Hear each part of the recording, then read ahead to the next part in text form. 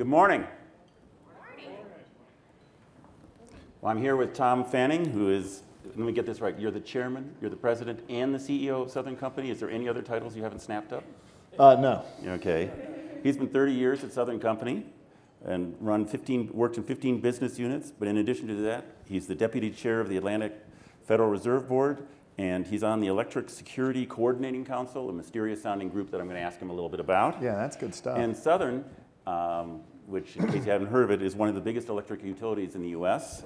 Um, has about 4.4 million customers, is that right, in Southeast, and has 26,000 employees. It's mostly interesting to us now because they placed a lot of big bets on uh, certain types of technology, and I'm going to ask you a little bit about that. So we're going to talk about the grid. Um, I'm a reporter for The Atlantic, and uh, last few years I've been working, gone back to energy issues and visited a number of these electric utility control centers. Biggest one I've seen is in ERCOT, I think it's called. It's in Taylor, Texas, and it's this huge room with this kind of Dr. Strangelove screens all over the place. And all these uh, controls the electricity for about three quarters of the state of Texas, and just, it's unbelievably complicated. And so you talk to the people there and other electric utilities, and what you get the feeling is that the American um, electric grid is both a miracle and a total mess. Um, it's like half miracle, half mess. No, it's not. Yeah, it's like Dr. Johnson's talking dog. You don't know whether to be amazed that it does it or complain that it does it so poorly. So, so let's talk about you have what you have in these centers, which you know I kind of think of as that's where the grid is. You know, because I can picture it at least. Yeah, right. Just all these different sources of power funneling in here and being matched with demand. Yeah. Okay, and it's kind of like an air traffic control center there, where they're kind of constantly turning up and turning or turning down. It's like that, except a lot more automatic. Yeah. yeah. But there's definitely nervous guys in t-shirts and, and in white shirts sweating about it. And so let's talk about the fact that the first thing that they'll tell you when you go there is that everything's really old.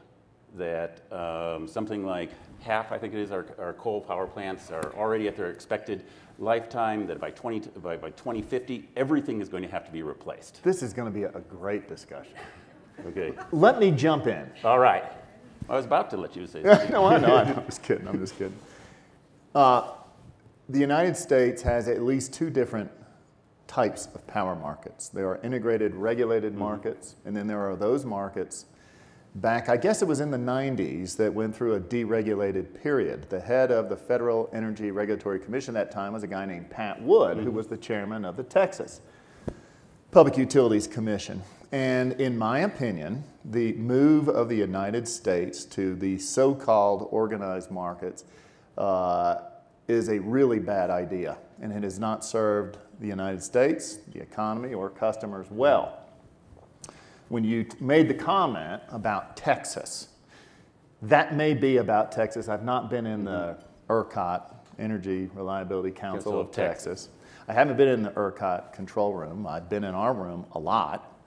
Uh, we spend about a billion dollars every year and have spent about that pace of money on the grid, really since I can kind of remember. I mean, my last few jobs, besides doing what I'm doing now, was COO, Chief Operating Officer. I lived in Birmingham and mm-hmm. used to go down there all the time. Before that, I was CFO, so I knew all about what we were spending. Before that, I was CEO of one of the subs, so I knew kind of what was going on. So look, looking back in the rearview mirror, we spend about a billion bucks a year every year. The notion on, on repairs and maintenance, or what is yeah, it? and, and, and new lines. Uh-huh. And, and we ought to get into something else too about the, the uh, reliability of the grid and mm-hmm. in terms of. But do you remember after the blackout in the Midwest and the mm-hmm. Northeast, and who was it? Was it Governor Richardson or mm-hmm. former Energy Secretary Richardson said we had a third world grid? He's dead wrong. That now, seems harsh. Well, he's wrong. Yeah. And what you see from one market, integrated regulated market, where you have a regular, predictable, sustainable kind of environment in which to invest capital, relative to these so-called organized markets, which are largely deregulated, the challenge in the deregulated markets is that there's an insufficient um, capacity signal, price signal, that will cause somebody to invest long term capital. And if you look at the Federal Energy Regulatory Commission business over the past, I don't know, 15, 20 years, it has been a litany of what are things we can do to induce people to make these investments. Because they've lost this end to end make, move, and sell obligation to represent mm-hmm. customers, which you have in an integrated market. So, my only point was mm-hmm. that may be true in ERCOT, and it may be true in the deregulated mm-hmm. markets. That is absolutely not true mm-hmm. in the Southeast. And if you want data to support these assertions, just look at uh, the federal energy stuff. There's two geeky sounding statistics called SAIDI and SAIFI. It's a D and an F. Uh, deals with the frequency of interruptions on the grid. We have been now, I think it's about a 14 year trend of improvement. And in fact, our frequency of interruptions on the grid is the best it's ever been. SAIDI says this is the duration of the interruptions once they invariably will occur. And they're also at an all time low. The other thing that, let me just add one more thing and then we'll, we'll go wherever. Wherever you guys want to go too, it'll be fun. The other thing that Southern Company has done by virtue of these investments in the grid, and at one time in my career, I was CIO, Chief Information Officer. And uh, we have developed and implemented technology in the grid way before smart grid was mm-hmm. cool. We did take advantage of some um, federal subsidies to do more. Actually, we, all we did was accelerate what we were already planning to do. But you would not believe the technology in the networks today. And in fact, we have the ability, we have predictive power in the grid so that we can ping in milliseconds what's going on and actually predict failures before they happen so that we're able to kind of get ahead of the game and don't just react to a problem.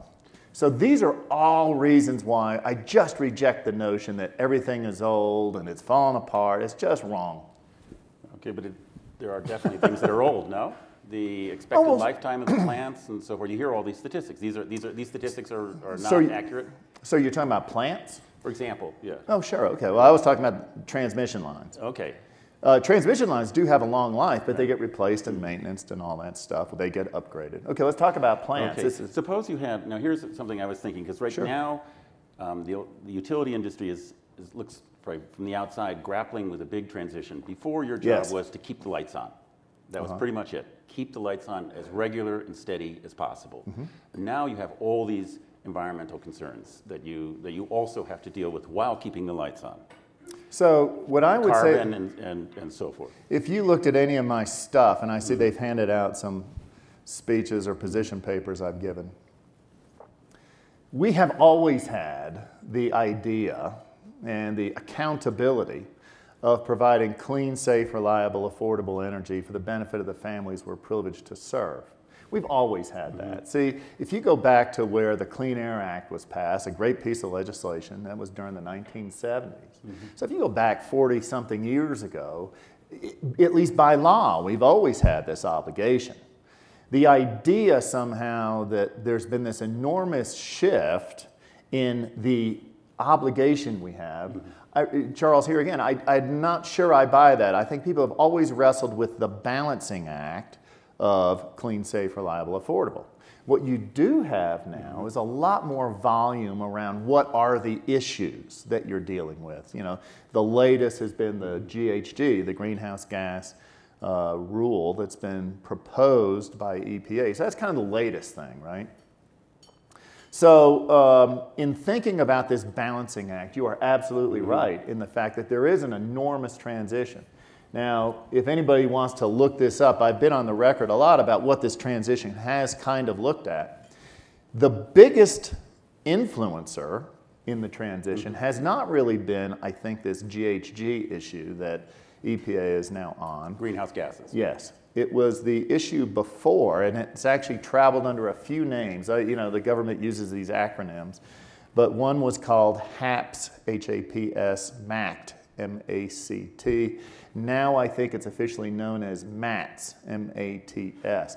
What that dealt with was a new set of standards for things like nitrogen oxide, sulfur dioxide, uh, mercury, particulate matter, and a variety of other things. That set of rules has had a much more profound effect on the transitioning of the fleet. Let me give you our data there. Um, so that was passed, what, about three years ago? Mm-hmm. And there is a transition period so that by 2015 or 16, depending on what latitude you ask for, you will transition a lot of the nation's generating fleet.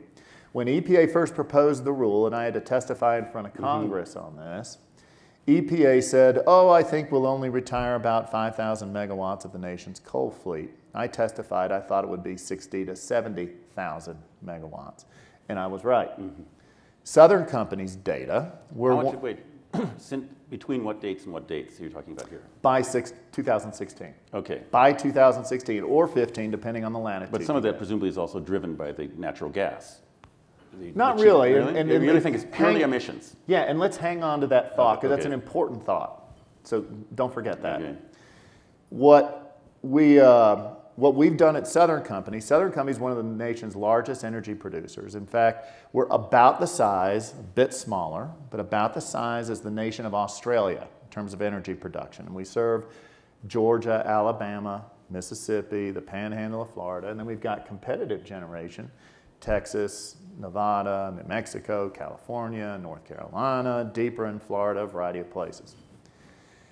And what we've done, we used to be this huge coal company, right? With 70% of our energy came from coal. In six short years, we've turned this aircraft carrier to now it's not 70% coal, it's 35. And it's not 16% natural gas is what it used to be. Now it's about 45. Nuclear's been constant at about 16, and then you make up the balance with either renewables or things like hydro. Mm-hmm. I also include in this energy efficiency. We can get to that later mm-hmm. too. It's an interesting concept, how you think about energy efficiency. In the pre MATS days, this very impactful EPA regulation, Southern Company had 20,000 megawatts of coal, one of the biggest coal fleets in America. By 2016, we will have only 13,000 megawatts. And we are shutting down 3,000 of the seven. 20 less 13 is 7. So we're shutting down completely 3,000. The other 4,000 uh, we're converting to essentially high, well, high heat rate, low efficiency gas units. That's what they're going to look like. So we've moved from coal to gas. Mm-hmm. Now, let's come back to your point when we think about the difference in what's happened in the gas markets mm-hmm. relative to what's happened in EPA regulation, don't mean to get geeky with you, but it's an important distinction that, mm-hmm. that you highlight with your question. There is a difference between energy and capacity. Capacity is the, is the amount of units that sit on the ground that have the capability to generate electricity and they really go to the heart of the reliability of the United States grid. One of the interesting facts, this doesn't impact Southern as much, but one of my mm-hmm. great friends in the industry is Nick Akins. He's the CEO of American Electric Power. You all remember Polar Vortex 1 and 2, right? Mm-hmm. Atlanta was the center of Armageddon mm-hmm. during uh, uh, Polar Vortex 1. But what's fascinating is, in order to meet the loads of polar vortex 1 and 2, a significant amount of the capacity in America that is due to be retired by 16 ran, like 75% of the time. Capacity is a very important issue. The effect of the EPA regulations will be to retire that capacity, 60 to 70,000 megawatts. The United States reliability will suffer because of that. What we've got to do as an industry is replace it somehow. And there's lots of interesting so let's things. talk about replacing it. Well, wait a minute. Yeah, yeah. Let's finish with the concept first. So, so renewables and new nuclear and the mm-hmm. full portfolio, I talk about that all the time. It's in the paper. I've been out there. The, so that's a capacity reliability argument. The argument mm-hmm. that you suggested was, oh, it's all about gas. Well, no, if it's, it's the price of gas. Well, okay, yeah. Yeah. uh, so Southern's made this huge shift to natural gas, but that doesn't mean we would have retired the capacity. We certainly have changed the energy output. Southern Company operates always to deliver in an integrated regulated market the cheapest energy available to our customers all the time. That's the way the power pool works. We don't make more money off of energy. Our big control room down in the, you know, stories below the ground in Birmingham, that is their job. Make sure it's reliable and make sure that our customers get the cheapest energy every microsecond they can. That is an energy argument, and gas has had an enormous influence in mm-hmm. energy. The gas issue has had almost no effect on capacity. I see. So now you're talking about replacing that capacity. Yes. And the striking thing, at least to me as an outsider, is that almost every method that you talk about for replacing capacity, whether it's you know advanced coal, nuclear, renewables, whatever, you can construct an argument to say what a terrible idea this is. That Or what a- have- well, I or mean- conversely, also what a good idea it is. Yeah, yeah, yeah, And yeah. so you guys are kind of doing an all of the above. That's right. thing. And so you're also running into all of the issues for all of them. Yes. Right, so you have these tremendous costs for, for building a nuclear power plant. You have the tremendous costs for um, carbon capture and storage, and then you have the tremendous fluctuation in, um, and reliability issues for, for renewables like solar, and, solar and wind. So since you're in the hot seat and you're looking at the downsides as well as the upsides of all of them, Right. how does it look for you? You know, when you talk about replacing this capacity with all these different choices here, and also you have to make these long-term big bets Yeah. that most business executives don't have to do because you're working on a time frame of many decades. What does it look like? Hey, uh, so you hit on so many interesting things. Well, he keeps using the phrase big bets.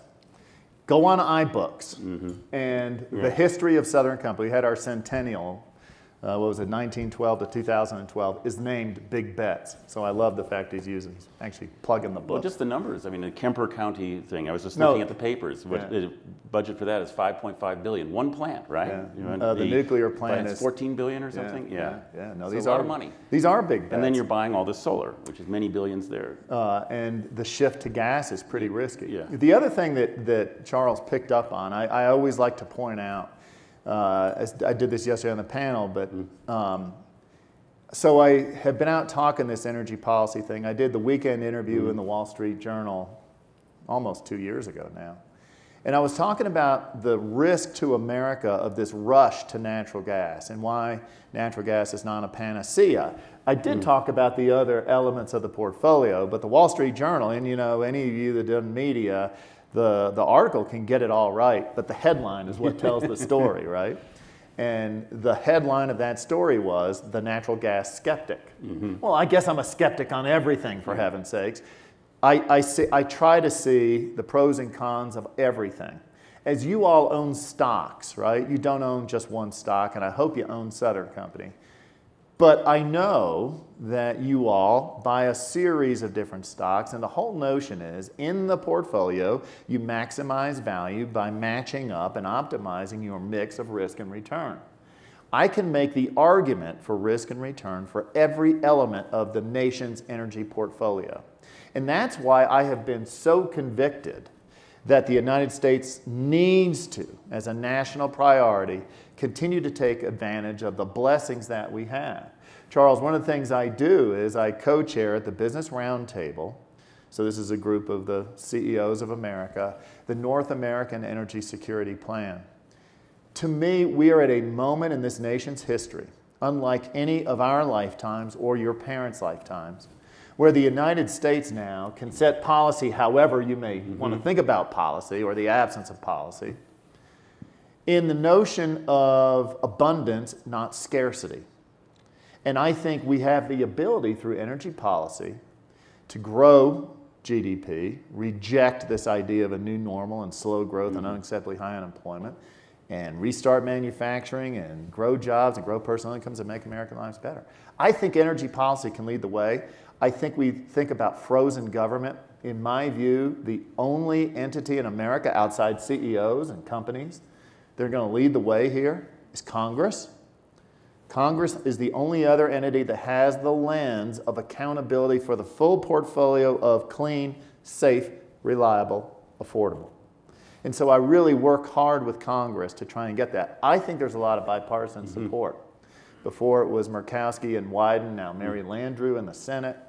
In the House, there's been great leadership. And I know we have the politics that frustrate us all. But I think energy policy and a way for America to play offense in a worldwide economy, I think is something that's so exciting. It's such an opportunity. We've got to get it right. Well, simultaneously, while you're rebuilding the capacity, we're also dramatically changing the grid. Mm-hmm. The grid itself, the, the transmission with things like energy storage, smart grid, you name it. There's a whole laundry list of technologies. You bet. This is, in fact, why my son has gone into the energy business because he thinks it's this enormous opportunity. Things are going to really happen in his lifetime. I think it's fascinating. So let's talk about making a smarter, smarter grid, which is essentially using harness, in, at some level harnessing the power of networked computing to make everything go faster, and also to empower the consumer, as well as expose everybody to the to the enormous security threats that uh, sec- that computers bring with them. Oh man, huge issue. Yeah. And and good luck to your son. I, he, he- listen, you know, it's funny when I, I think when I, excuse me, joined the Southern Company out of mm-hmm. graduate school at Georgia Tech, I thought, oh, I'll stay there three years and then go mm-hmm. be an investment banker or something. You know, I started out in corporate finance. The issues that we're seeing right now in terms of electricity as the economy continues to get more electrified, mm-hmm. I think the data will show that of any energy consumptive resource, electricity is going five and a half times the rate of anything else. So the economy is getting more and more mm-hmm. electrified. You think about transportation, you think about digital computing, you think about entertainment. Yeah. In fact, if you ever download a Netflix, so if you watch like an hour of Netflix once a week, it's the equivalent when you think about all the servers that get lit up along the way of adding a new refrigerator mm-hmm.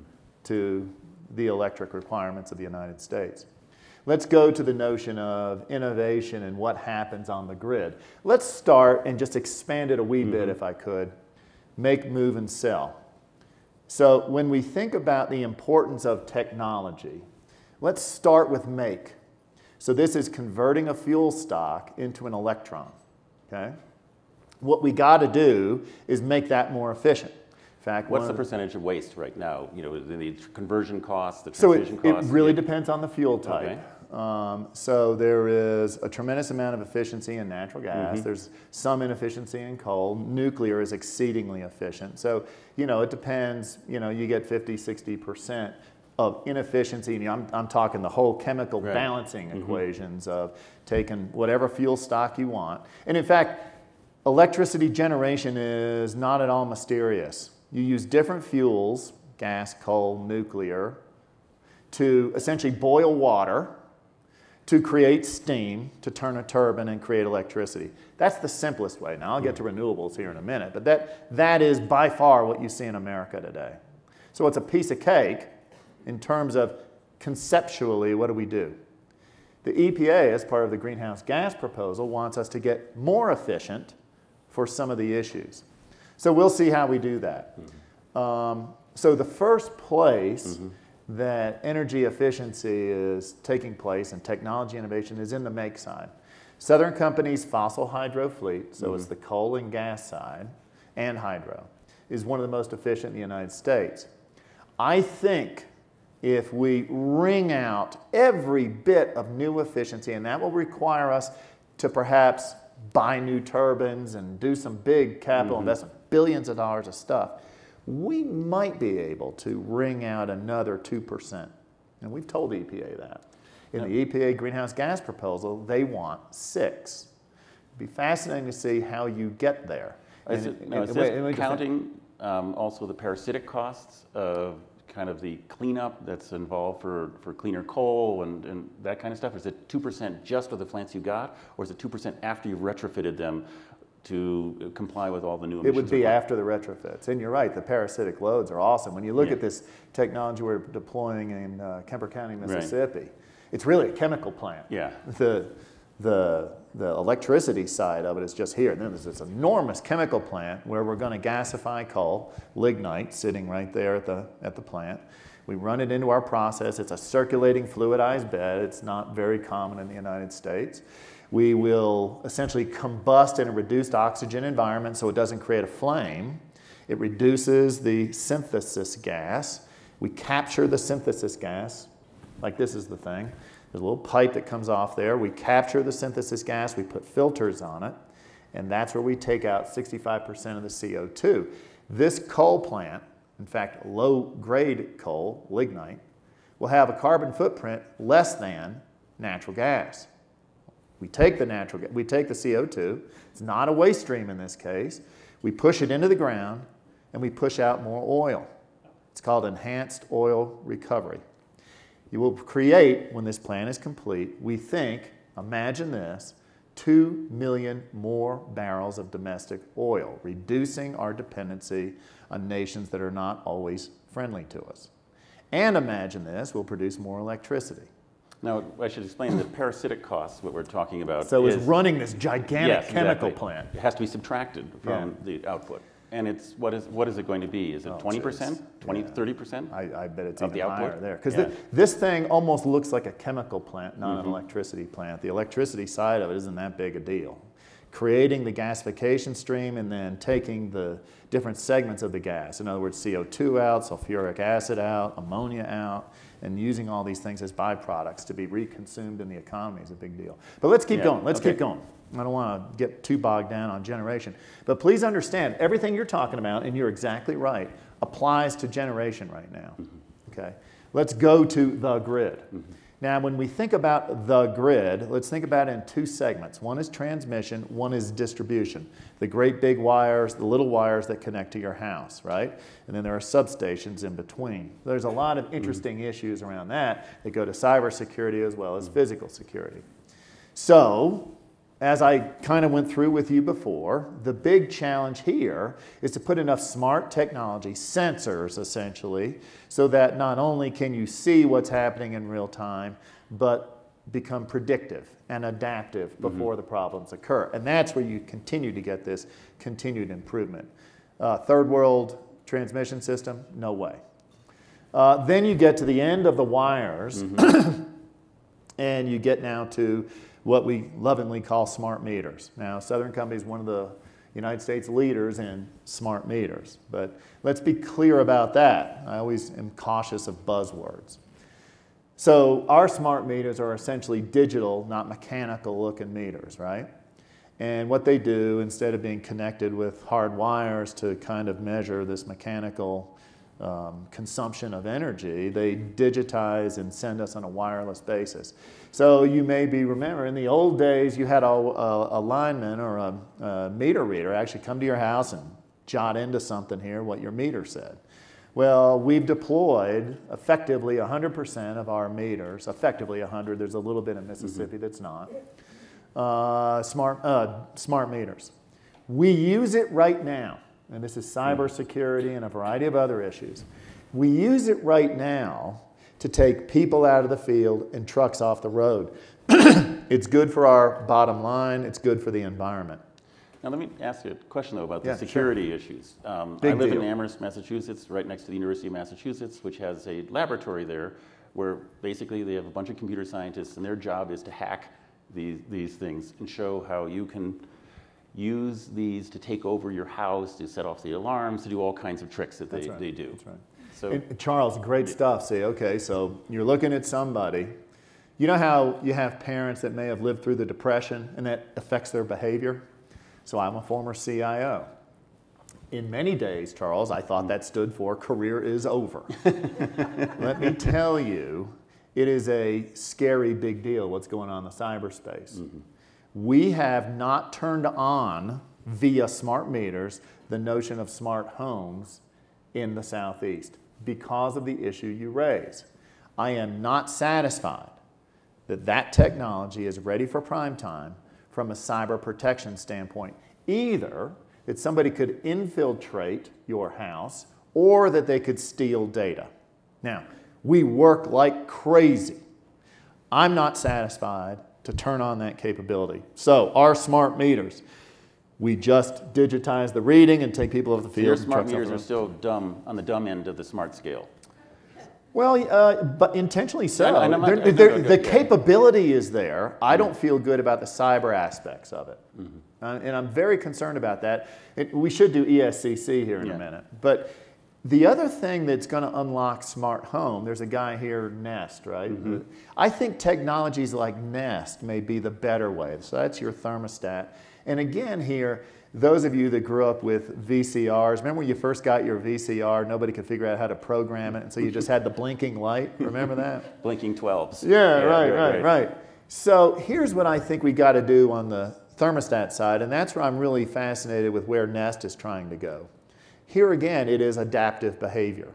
If anything is going to require human intervention, then my sense is its adopted, adoption rate and its penetration and usefulness will be really low. But if the technology can kind of understand you, you've heard about the old story about Bill Gates' house, where you walk in and there's a digital painting on the wall. And if he walks in, it's a painting of so and so. If Melinda walks mm-hmm. in, the painting changes. Right. Because the painting can sense who's in the room and what do they like to look at. That's the way your house is going to go, I think. And I think, I don't know whether it's the nest that we see now. So there's this, another buzzword you hear is disruption. We can talk about mm-hmm. disruption in a minute. I don't think Nest is disruptive just yet. But I think maybe the next generation may be, and I think that's really exciting.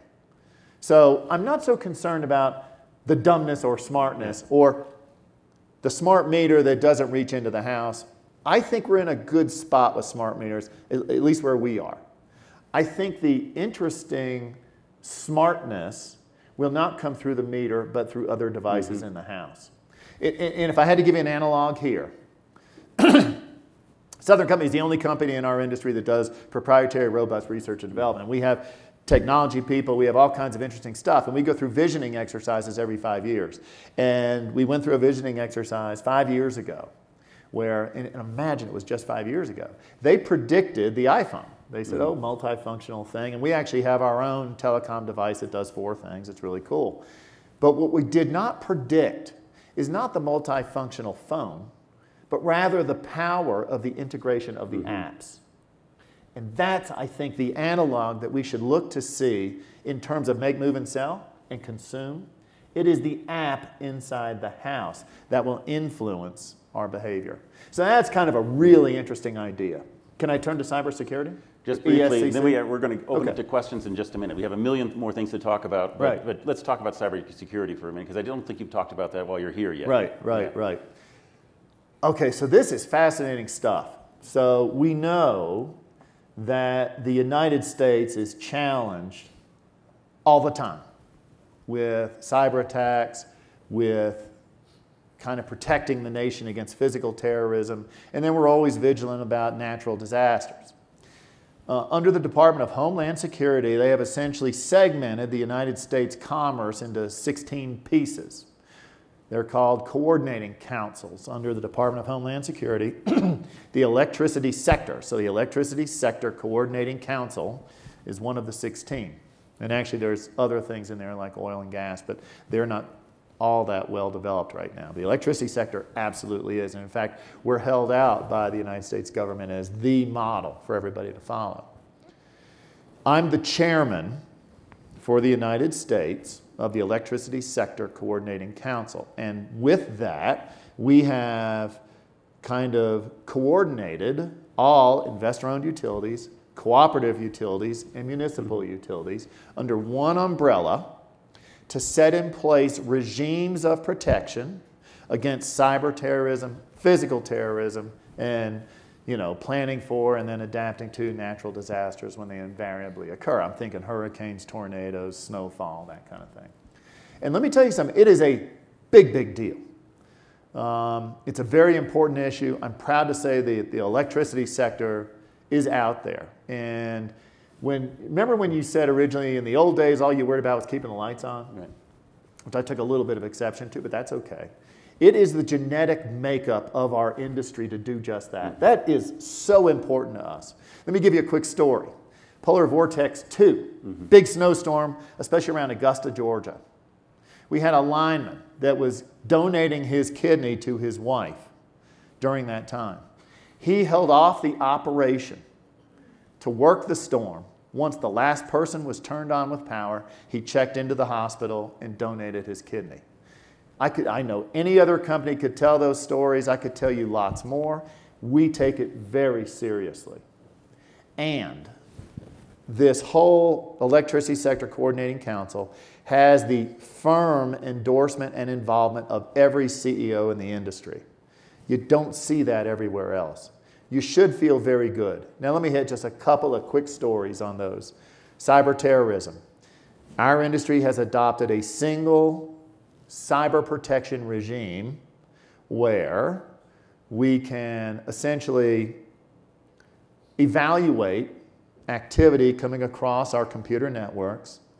We can, in a central place with the partnership, the United States government, evaluate anomalies, assess those anomalies, and then react to them. And there's lots of interesting things. There's two words that you hear in cyber terrorism called blackboarding and whiteboarding. Whiteboarding means you only let friends in. Blackboarding means you, you know there are known enemies and you keep them out. There is a whole enormous level of activity undertaken by the Department of Homeland Security. They do a darn good job looking across all industries to assess the level of threat and activity. In the physical um, terrorism world, uh, you may have heard about this Metcalf mm-hmm. incident. So this is a transmission substation that was attacked, it looks like in an organized way, uh, and they killed the substation. There was a following um, article, it was actually about nine months later, but still, there was an article by uh, the Wall Street Journal that talked about the theory that you could attack some number of substations, transmission substations in the United mm-hmm. States, and bring down the grid. if you want to look, Google this latest interview I did that's just not likely at all. I think people that espouse that theory don't know what they're talking about.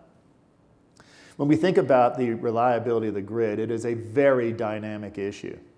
And in fact, when you go back to the Metcalf case, yeah, they killed that substation. Not one light blinked in California. That was near Silicon Valley. So, my sense is what you should know, and I I can't tell you everything we're doing on a physical side because we like to keep that confidential. But you must know that we evaluate all critical infrastructure in the United States. It goes to nuclear plants, conventional plants, transmission systems, substations, you name it. and we have protection regimes in place, whether it is directly impacting building a wall around a substation, or whether it's plainclothesmen in an area, or whatever the evaluation must be in the best way to protect those critical assets. Last thing on natural disasters. The Southeast has always been in pretty good shape. We always, and unfortunately, we get the uh, disadvantage of practice because we have lots of hurricanes. So we kind of know how to do storms. Hurricane Sandy was a very challenging event for so many people because it was so unusual. Mm-hmm. Well, in the United States, there are things called RMAGs. Sorry for the acronym again. Regional Mutual Assistance Groups, RMAG. And what we have done since Sandy, in fact, Southern Company was the biggest provider of help to the Northeast uh, among any company in America. But um, what we have done together is knitted the various regional mutual assistance groups, simplified them that were pretty fragmented in the Northeast, and now we have, I think, a, a, much better way to respond to, uh, to all those things. We should open it up for questions. Yeah, great. And uh, in this talk, I've tried to focus on things that you didn't talk about. Yeah, right. On. Yeah, but if you have questions about those, please.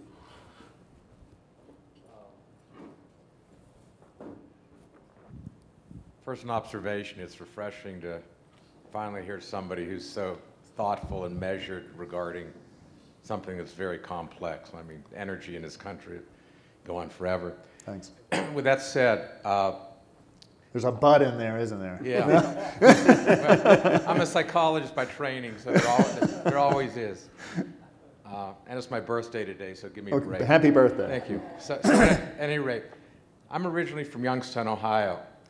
From 1930 to 1970, Youngstown, northeastern Ohio, was uh, fifth largest steel producing city in the, in the country with that said, it hasn't been good for 35 years. Sure, Good news right. was, I'm in Columbus now. The next shiny thing that came across was fracking. Right. So the French put a $5 billion factory there to make the tubing, and everybody's happy. Except the last 18 months, there's been over 100 micro earthquakes in that area. And most geologists default to, the only thing that's changed is we're throwing stuff into the, into, into the ground. Can you speak to the safety of fracking and, you know, where that stands? Yeah, thanks very much for that question. It's a very important question. Um, here again, I don't repeat myself, and you can look at the Wall Street Journal. When I say there are five reasons why it should be costless in natural gas, let me hit them really quickly. One is evaluating the environmental impacts of fracking. That's what I always lead off with. Number two is building out the infrastructure. Number three is what's going to be our national policy on exporting. I think everything. Four, what's going to happen to price and volatility uh, when we do this huge demand curve shift in the United States. And five is we've got to find a way to hedge that for the benefit of the economy and the citizens we're pleased to serve. When you think about this first point, what about fracking? The United States has made an enormous bet to go to natural gas, some would say as a transitional fuel. So for the next 50 years. And it has been a huge blessing to the economy. But the fact is, the environmental questions, whether they're these micro earthquakes or whether it's issues related to water, uh, I've said here that I know people get high centered on air. I think the air in the United States is really in pretty good shape for the marginal cost and the marginal benefit. I think some of the bigger issues facing us is water. Southern Company is the only company in America today that does water research on power generation.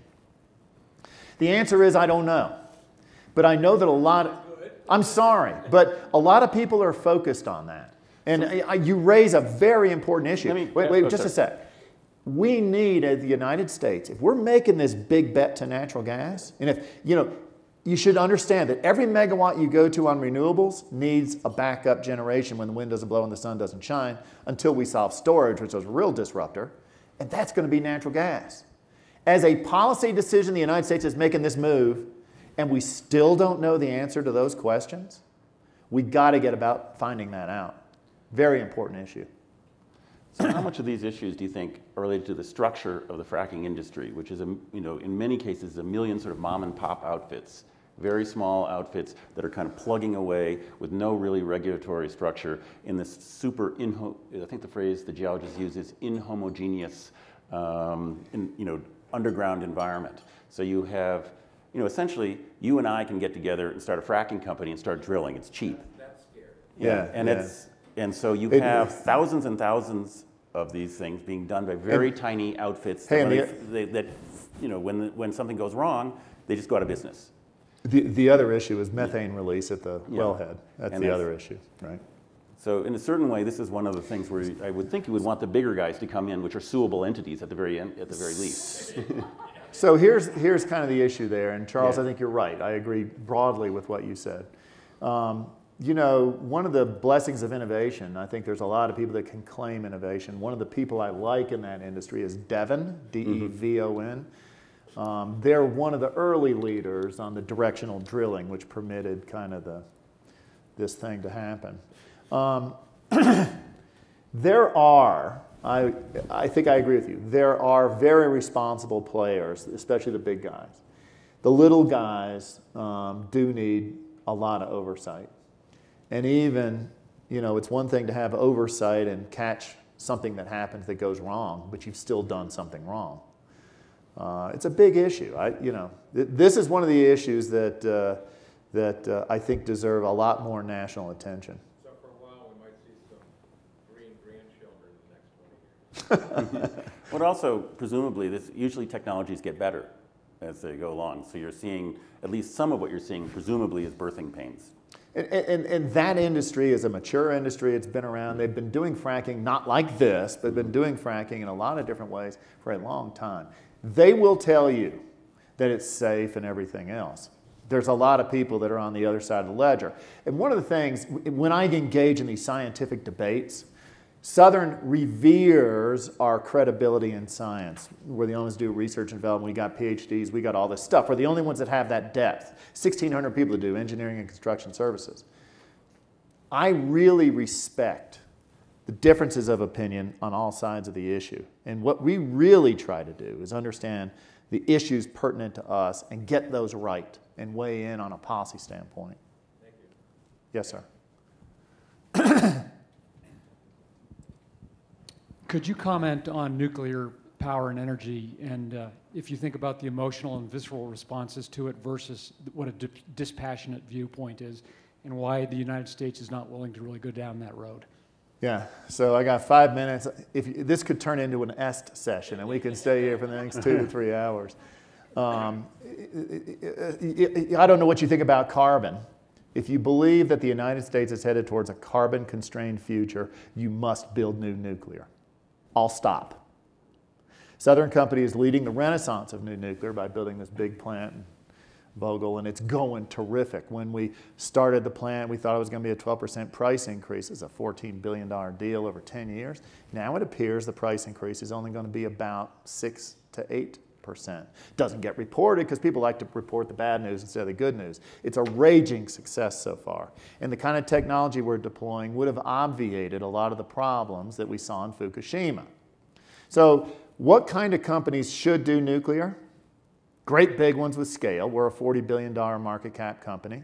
Companies that have the highest level of financial integrity, because you're going to be involved with great sums of money over long periods of time. We know the nation's financial markets go in and out.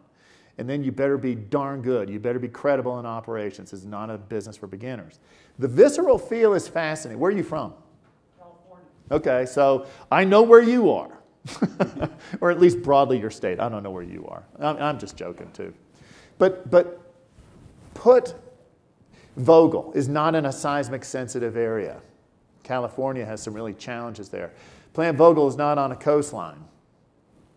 And then we're using the newest, safest technology around. The polling in the Southeast for nuclear is enormously positive. And it's not just the public. Look, we've had great support from the current governor and the past governor. We've had great support with our regulators, great support from the General Assembly in Georgia. You know what this represents? It's the biggest economic development project in the state. And it will deliver for the families we're privileged to serve for decades to come power at the gas equivalent price of about a buck per million BTU. The polling for us has been in the range of 70 to 90%, depending on when and how. There is no negative visceral feel. What I would tell the United States is get serious about nuclear, do more of it. You want to put more incentives in place? I would take them away from renewables and put them in nuclear. Do we have time for one brief question? Okay, are you up, you up for it? Yeah, well, I'll, I'll stay for days. Um, and I can keep it brief. Um, could you talk a little bit, Tom, about what you see as the role of distributed generation? Yes. And, and what that means in terms of your business model. I mean, you've talked a lot about how Southern Company Yeah. makes big bets in nuclear, in solar, et cetera. But distributed generation is about decentralized expansion. Yes. Uh, I, I'm all for it. Uh, and it was funny, we do these, so remember we do these visioning exercises. The other thing Southern Company does, we really try and integrate innovation into our business practices. We do these focus dialogues, is what we call them. So we'll get 100 people, so it's a 26,000, but we get 100 people around an issue. And we have people get up here on a stage and kind of go through the issue with mind numbing amounts of detail. And you're supposed to be prepared when you walk in. And we vote and argue and fight. We institutionalize food fights. And we did one three years ago, Chris, right, on distributed generation. And at the end of the day, we took a vote. You know, we did one of these. And it was 88 to 12 that distributed generation will never happen because it's a dumb idea. I was in the 12, and I was right. and now everybody understands that I think distributed generation is going to come here. But let's understand what distributed generation is.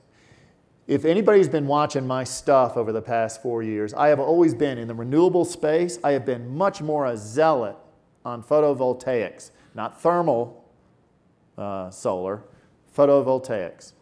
And I've never been that much of a fan on wind. Wind certainly has its place. Please understand the northern plains in certain areas of the United States and Texas. They've overdone it in Texas, but wind has its place too, not in the southeast. So I've been all focused on solar, and we're one of the largest solar players. Largest voluntary solar program in the United States is in the state of Georgia. Here you go on distributed generation. And this is one of the reasons why I thought us getting involved early in solar made sense. Because I absolutely believe one of the infirmities you have on renewables is that typically where the great resources are, there are no people.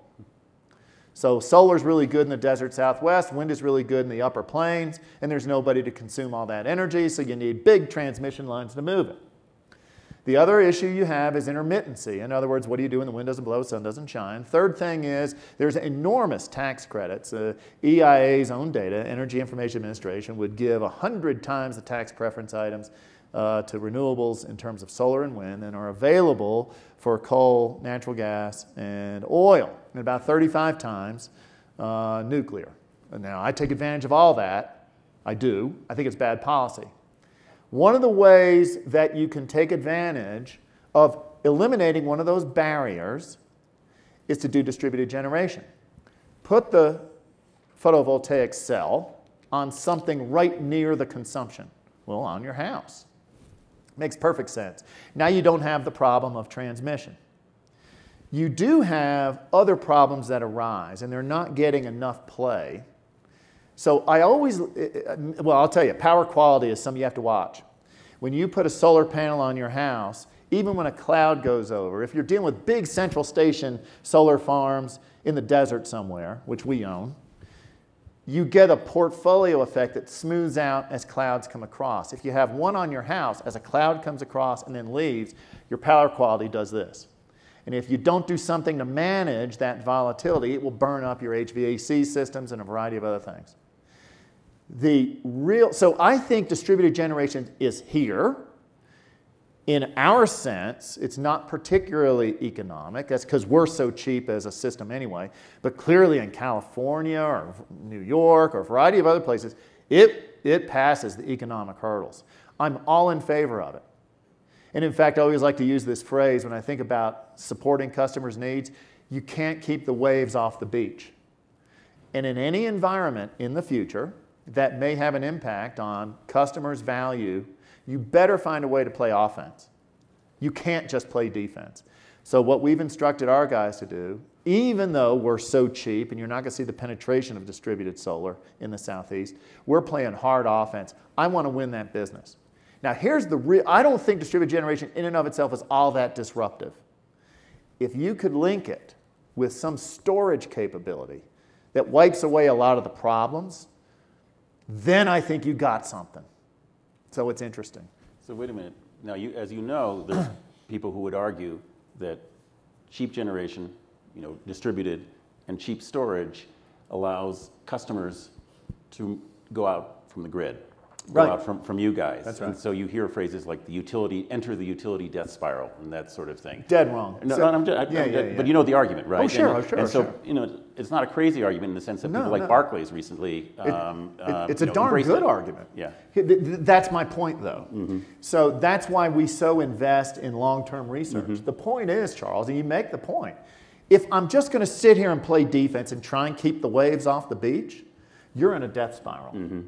My view is let's understand that, let's get ahead of the curve. Why don't we own infrastructure? Why don't we own the panel on the rooftop? Why don't we own the storage device? Why don't we own electricity vehicle uh, charging station? All of that is my business. I want to own that. I want to have that business. Thank you very much. I think. Thanks, folks. yeah. Appreciate it.